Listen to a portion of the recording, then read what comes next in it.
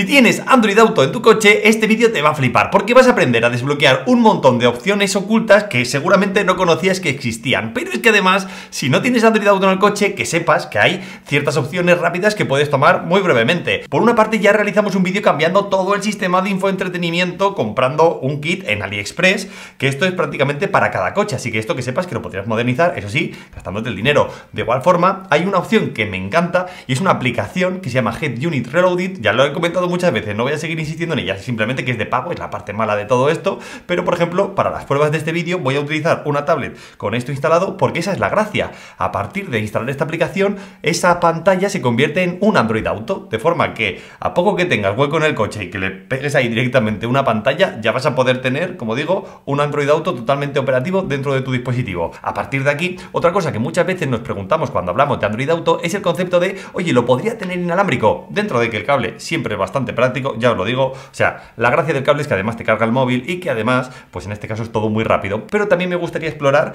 tres opciones muy rápidas y sencillas para tener esto de forma totalmente inalámbrica. Lo primero es que Android Auto, actualizado a las últimas versiones, es plenamente compatible si el coche lo fuera, que es la parte difícil, que los coches sean compatibles, que también existe la tecnología, simplemente que falla más que otra cosa. En cualquier caso, como digo, esa sería la primera de las opciones, que todo fuera compatible y fuera muy sencillo, entras en el coche y automáticamente lo tienes de forma inalámbrica. La segunda opción es que la aplicación de la que hablaba antes, ojo que también tendríamos la opción de lanzarlo de forma inalámbrica, pero ya estoy viendo que lo estoy conectando por cable para las tomas, porque ahora sí va mucho más rápido y fluido, así que es otro de los puntos a tener en cuenta. Pero si quieres desbloquearlo de una forma real, hay una tercera opción que sería comprar un pequeño adaptador. Yo en este caso he probado un montón, aquí tengo este de AA Wireless por casa, eh, la verdad es que van bien, se conectan por Bluetooth al móvil, entonces en el momento en el que tú entras en el coche y se conecta por Bluetooth, ya lanza el mensaje de que eso es un Android Auto conectado a tu móvil. Es cierto que puede ser práctico, en tanto en cuanto es pues eso, útil no tener que utilizar un cable para que esto se conecte, pero también es cierto que en mi experiencia el cable no cuesta tanto, o sea, simplemente le pones el cable, lo dejas ahí y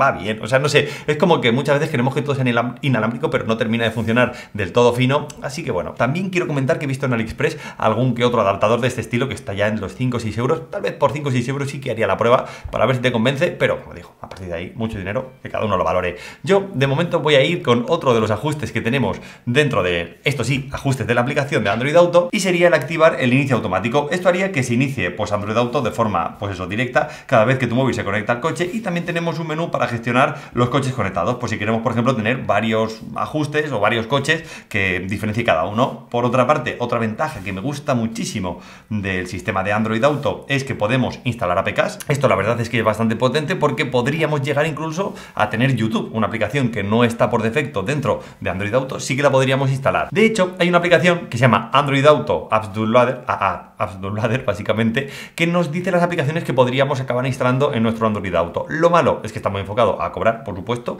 y además nos permite instalar de forma gratuita una aplicación al mes. Esto tampoco es necesariamente malo porque con la aplicación CarStream, que es la única que necesitamos realmente para lo que quiero comentar en este truco, ya podríamos activar YouTube de forma plena e incluso no solamente YouTube, es que nos instala Plex. Bueno, Plex es una de esas aplicaciones fabulosas, así que las posibilidades también son bastante, bastante bestias. Así que fijaros qué pedazo de ajustes ocultos estamos desbloqueando. A partir de aquí voy con tres ajustes muy rápidos y muy sencillos, que estos sí que los tenemos dentro de los propios ajustes de la aplicación de Android Auto. Por una parte, puedes personalizar el menú de aplicaciones directamente buscando esto dentro de los ajustes, es decir, buscas personalizar menú de apps y a partir de aquí vas a poder elegir cuáles te saldrán y en qué orden dentro de lo que sería la pantalla de inicio. Por otro lado, una recomendación que siempre me gusta hacer es darle el permiso de inicio automático, en este caso dentro de nuestro móvil. Y esto se repetiría en todas las aplicaciones que tengamos dentro de nuestro coche para que así, en el momento en el que conectes, pues no tengas ningún problema ni incompatibilidad a la hora de usar una u otra. Y el tercer ajuste rapidito, este que os iba a comentar que a mí me parece fundamental es mantener a raya las notificaciones. Es decir, a todos nos ha pasado que en algún momento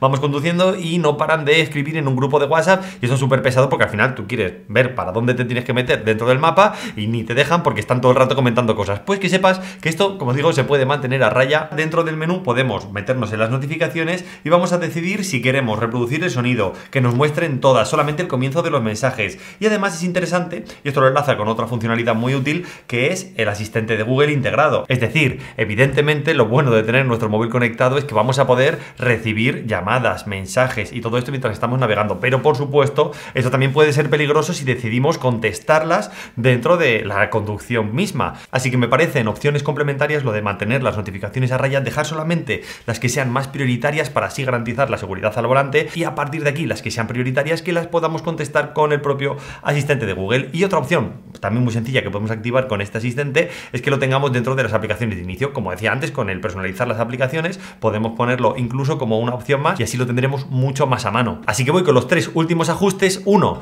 que muchas veces también está oculto, dependiendo del coche y de la versión que tengamos, puede venirnos o no, pero que sepáis que esto se puede desbloquear, como es la aplicación Game Snack, que en este caso viene siendo una serie de minijuegos que podemos activar dentro de Android Auto. No vamos a poder jugar a ellos, obviamente, cuando estemos en una conducción, pero es verdad que viene muy bien en momentos en los que tenemos que estar estacionados, esperando a un amigo, aparcados o cualquiera de estas opciones, pues aquí sí que nos va a venir muy bien tener todos estos jueguecitos dentro del coche. Y por otra parte, si eres de los que utilizan Google Calendar para organizarse su día a día, que sepas que si en algún evento tienes que ir a algún sitio y por ejemplo pones también la ubicación de ese mismo sitio, cuando te montes en el coche y conectes Android Auto va a reconocer que tenías esa cita programada, que tenías ahí disponible esta dirección, de forma que vas a simplificar muchísimo el momento de buscar esa dirección que muchas veces suele ser algo random que ni nos sabemos de memoria. Y esto ya lo he dicho en otros vídeos, pero verdad cuando aprendes a usarlo es una auténtica maravilla. Así que voy a terminar con el último ajuste oculto, que es el más eh, típico de todos, pero que mucha gente no conoce, como es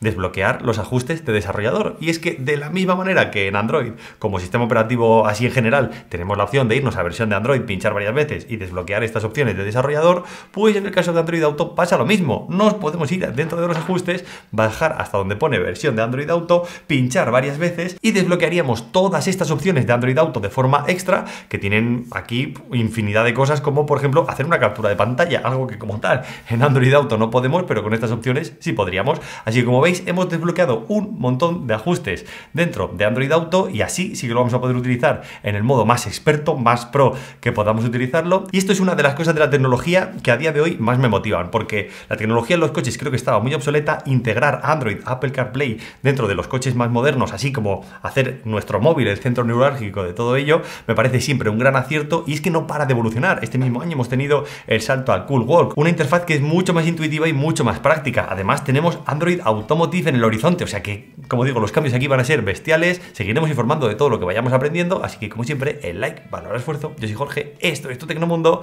y ojalá que nos veamos en muchos más vídeos. Hasta luego.